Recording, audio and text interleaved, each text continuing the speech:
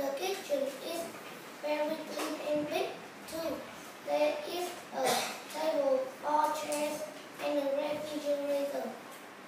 There is a bed.